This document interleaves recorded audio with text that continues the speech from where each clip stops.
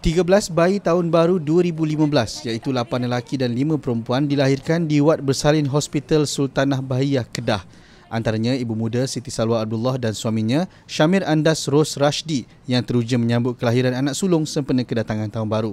Ibu lain Naimah Ramli 32 tahun dari Tanah Merah Pendang yang selamat melahirkan bayi perempuan berkata dia bagaikan tidak sabar apabila mula terasa sakit walaupun tarikh jangkaan bersalin yang dimaklumkan doktor adalah pada 14 Januari depan. Sementara itu, pengarah HSB Datuk Dr. Juwita Ghazali berkata pihaknya menyambut kelahiran seramai 13 bayi berkenaan bermula dengan kelahiran pertama pada jam 12.05 tengah malam.